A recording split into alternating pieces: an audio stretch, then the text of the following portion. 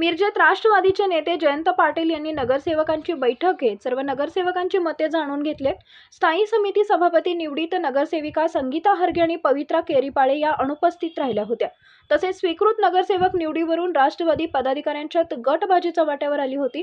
अनेकांनी पक्षाचा राजीनामा देण्याचा इशारा दिला होता. या पार्श्वभूमीवर नेते जयंत पाटील यांनी रविवारी रात्री मिरज विश्रामगृह येथे सर्व राष्ट्रवादींच्या नगरसेवकांची झाडाझडती घेतली. रात्री जवळपास दोन वाजेपर्यंत ही बैठक घेण्यात आली ठराविक नगरसेवकांना गेल्या चार वर्षात संधी देऊन सुद्धा ते पक्षाची साथ देत नसल्यामुळे ज्यांना संधी मिळाली नाही ते नगरसेवक पक्षावर नाराज आहेत.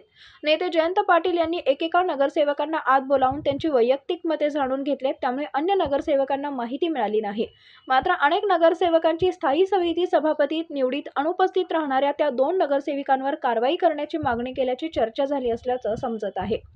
गेल्या साडेचार वर्षाच्या महापालिकेच्या कारकिर्दीत पहिल्यांदाच राष्ट्रवादी नगरसेवकांत गटबाजी दिसून आल्यामुळे नेते जयंत पाटील यांना आता स्वतः लक्ष घालावे लागत आहे.